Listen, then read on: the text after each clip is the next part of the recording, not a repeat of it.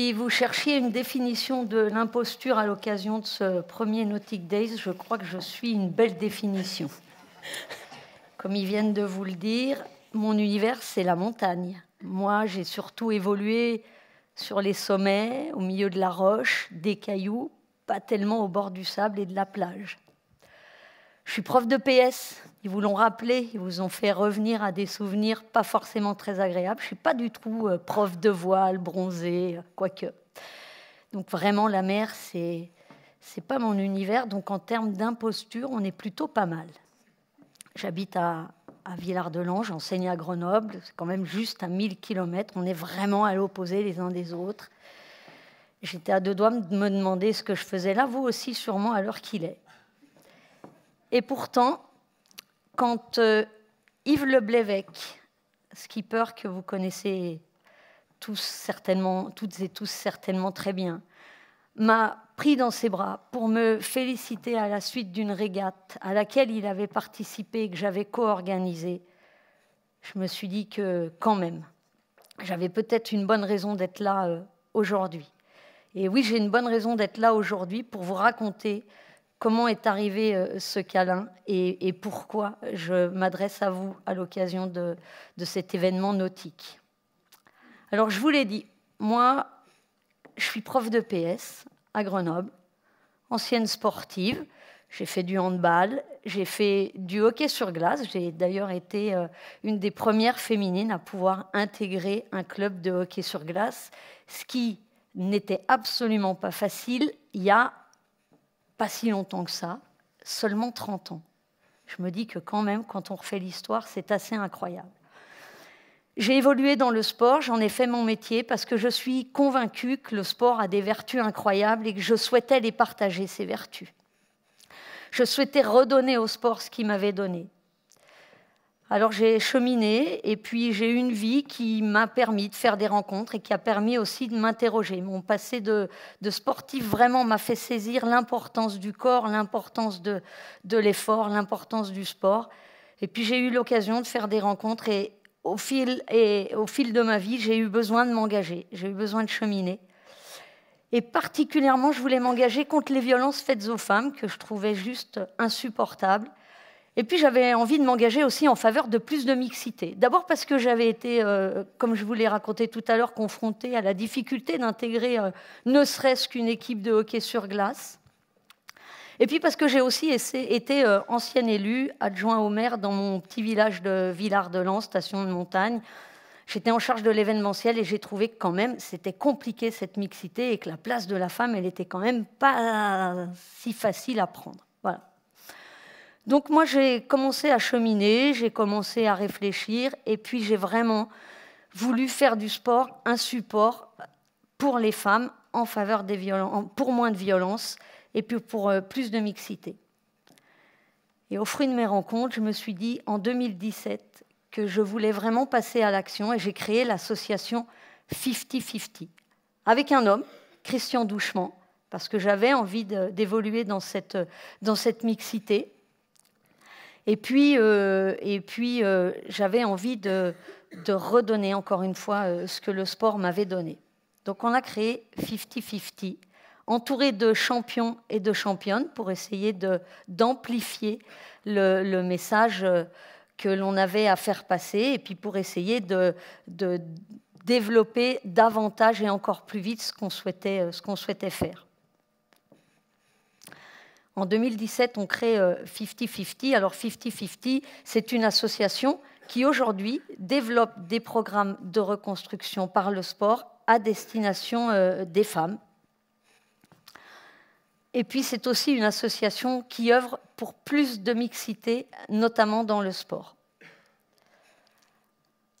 On développe des programmes de reconstruction à travers trois sports qu'on a volontairement choisis, le vélo, le ski, parce que je suis quand même de la montagne, mais aussi la voile. Et c'est comme ça qu'on a créé la régate 50-50 Sail Crédit Mutuel Arkea à la Trinité-sur-Mer. Alors, la 50-50 Sail Crédit Mutuel Arkea, c'est une régate qui est un petit peu particulière. Tout d'abord, elle est 100% mixte, ce qui veut dire que dans les instructions de course, il est demandé à tous les régatiers, pour qu'ils puissent s'inscrire, qu'ils soient en mixité totale sur le bateau. Quand on a lancé la première édition, on en est seulement à la quatrième, c'était une vraie révolution hein, dans le milieu de la voile. On a mis quand même un beau bazar parce qu'on n'était euh, pas si nombreux que ça à faire euh, de la mixité, à imposer la mixité sur tous les bateaux. Et puis c'est aussi euh, la 50-50, c'est aussi une régate engagée puisque les frais, d'inscription de tous les régatiers permettent de financer les programmes de reconstruction par la voile pour des femmes victimes de violences. Alors tout ça euh, mis, ensemble, ça crée un ADN et une ambiance très particulière euh, sur cette régate. Encore une fois, l'idée c'était de se dire que le sport était un support idéal et je vous confirme que la voile en est un.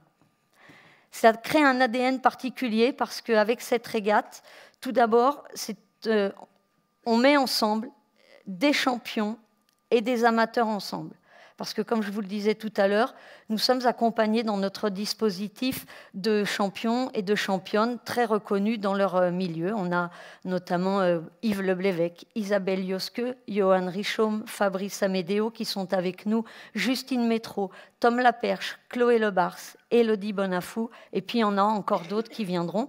Et puis on a aussi notre ambassadrice en bonne montagnarde, l'ambassadrice de, tout ça, de toute cette orchestration, c'est quand même la championne olympique de ski, euh, Carole Montillet.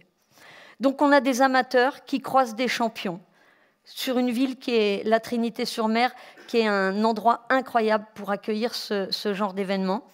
Et puis on a créé tout un écosystème qui fait que justement, on a une ville engagée aux couleurs de l'événement, avec des commerçants, avec des partenaires, avec des institutions qui sont engagés à nos côtés et qui souhaitent porter cette voie du changement qu'on a envie d'amener avec eux.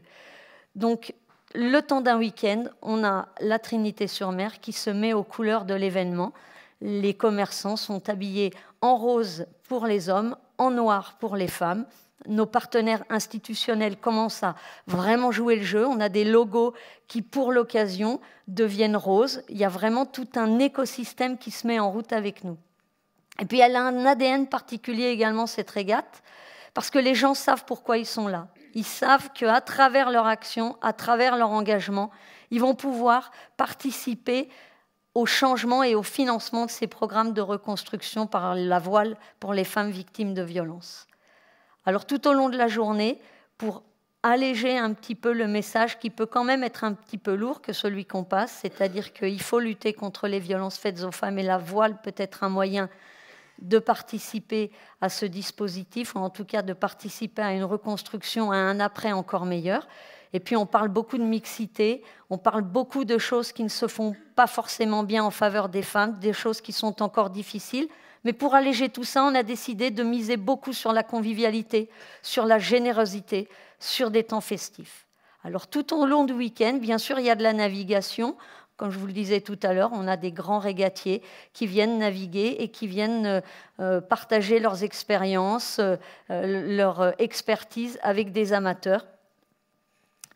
Mais on a aussi des temps festifs, on a aussi des temps généreux, on a des concerts. Et puis, sur le parvis de la capitainerie de la Trinité, à un moment donné, quand même, on prend le temps de faire une table ronde pour expliquer aux gens ce que sont les violences, en quoi le sport peut permettre une reconstruction, une résilience et apporter quelque chose de vraiment positif dont on a tous besoin aujourd'hui.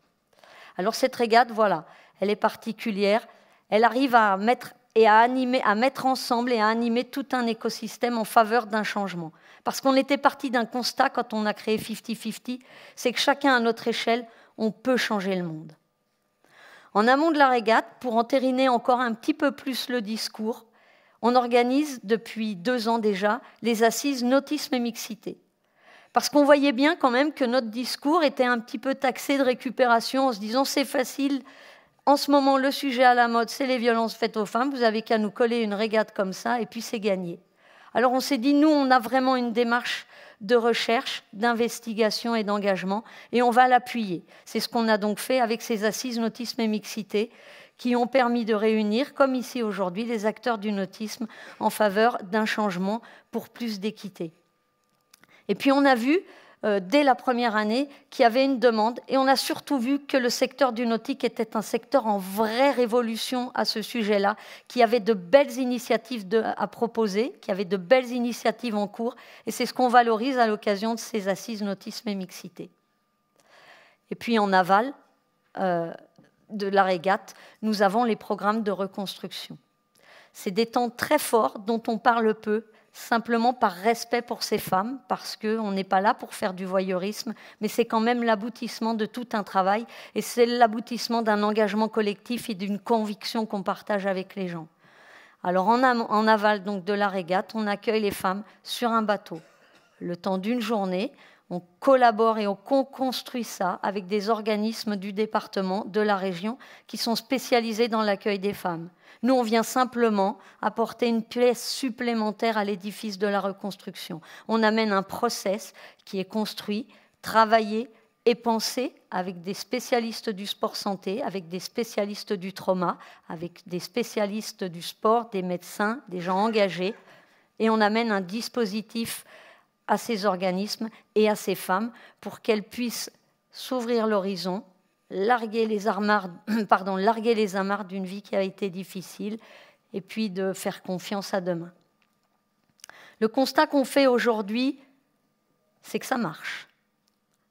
Le constat qu'on fait aujourd'hui, c'est qu'on peut tous, chacun, changer le monde à notre échelle et que pour ça, la voile est un support incroyable avec un potentiel économique, humain incroyable on constate aussi que les gens, vraiment dans leur grande globalité, ont tous envie de s'engager.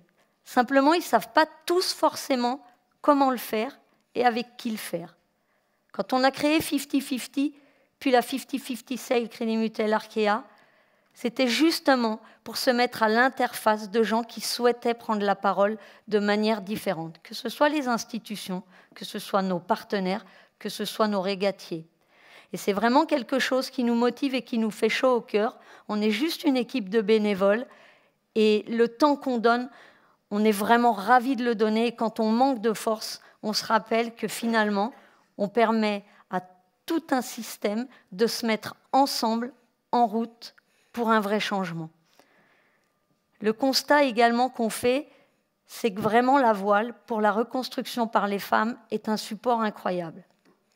D'abord, parce qu'il leur permet de se mettre à distance entre elles et la pratique corporelle. Dans ce cas des violences, forcément, le rapport au corps est très difficile.